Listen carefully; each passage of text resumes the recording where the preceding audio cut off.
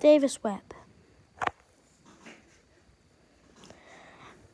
What was that throw? Um, I just don't know what that throw was. Can you just tell me? Because I think it was to the sideline and five yards short of the